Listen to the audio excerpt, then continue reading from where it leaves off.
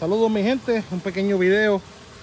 Ayer domingo pasaron dos cosas. El sábado en la madrugada, como a las 3 y media de la mañana, se salió el tubo este, ese tubo de chorro fuerte. Se salió porque yo no pego nada. Se salió y se vació el tanque. Y a las 3 y media de la mañana, que mi papá vive en esa casa, pues tuvo que venir por el alboroto de la bomba y desconectarla. Pues ahora mismo está corriendo con agua sola, sin ajustar el pH y nutrientes desde el domingo en la mañana. Son las 9, son las. Hoy es lunes temprano.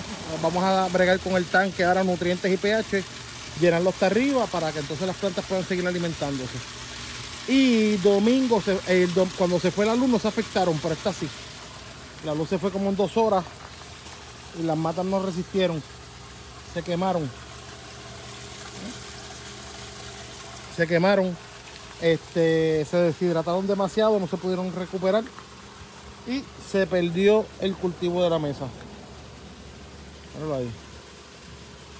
En otra época, en, por ejemplo, en, noviembre para adelante, como hasta marzo, la luz se puede ir dos horas y las plantas no se afectan, pero con estos calores y este sol, la planta si no, si no consume agua, se va, se muere. Esto lamentablemente hay que descartarlo, ya esto no, no, se va a dar.